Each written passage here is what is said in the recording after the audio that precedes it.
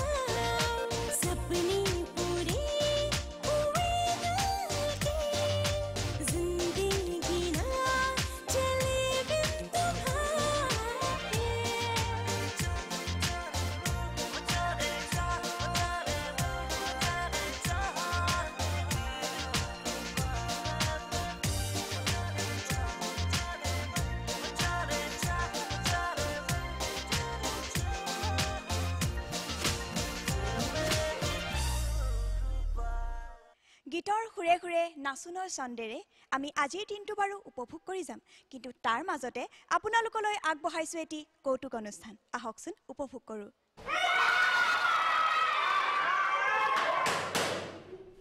Bus চিঞৰ বাখৰ তহঁতে মনে মনে বহি থাক। ঐ ছাৰ কালি যে কিবা এটা কম বুলি কৈছিলে। কোন তেনেহ'লে? এখন ৰাজ্যত এটা বৰ শান্ত শিষ্ট জাতি আছিল।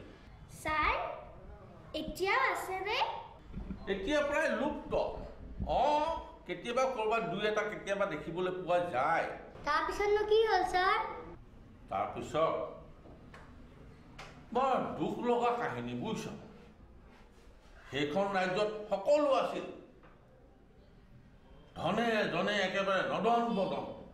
সোণোৱালী বস্ত্ৰ সোণোৱালী পানী কলা হীৰাৰ কাৰণে বেলেগ ৰাজ্যৰ সেইখনৰ ওপৰত চকু পৰিল। সেই জাতিটোৱে আকৌ বেলেগক খুৱাই বৰ ভাল পাইছিল। নিজৰ ভাগৰ ভাতো এই কাঁহৰ কাঁহী বাতিতহে দিছিল খাবলৈ। কিন্তু নিজৰ প্ৰাপ্যখিনিৰ পৰা বঞ্চিত হ'লে তাহাঁতি উত্তেজিত হৈ পৰিছিল।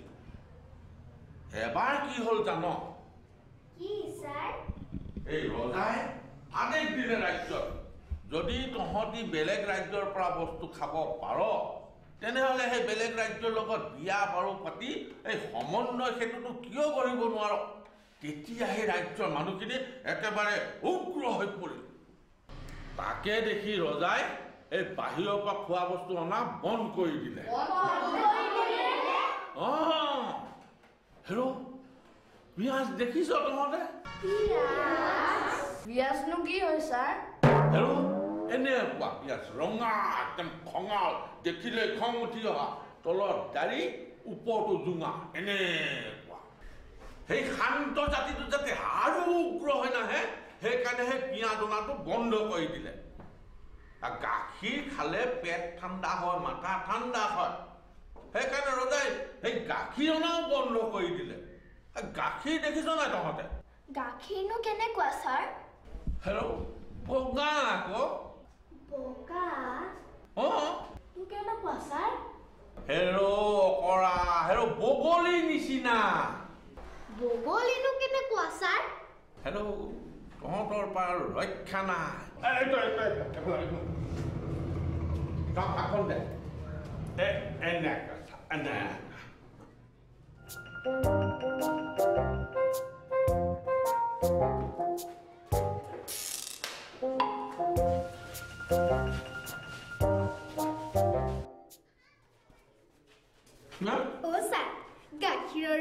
ভাল এইবাৰ আপোনালোকলৈ আগবঢ়াইছোঁ যুৱ প্ৰজন্মৰ আন এগৰাকী জনপ্ৰিয় শিল্পী নীলাভ্ৰ বৰাৰ কণ্ঠত এই গীতটি যাক সকলোৱে মৰমতে নীল বুলি মাতে। স্বৰ্গ মুখলে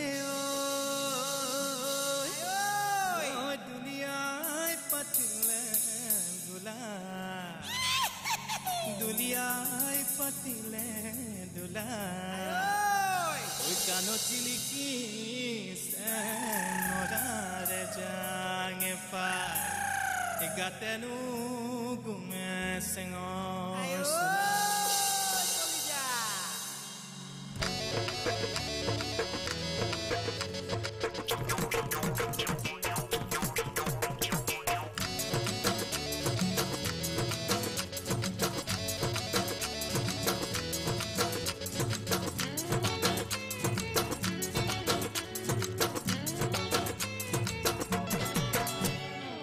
Gittikçe muka keneba kenebala ke Gittikçe muka keneba kenebala ke Bihure oy tolite Nasıl nasıl ke Bihure oy tolite Nasıl nasıl ke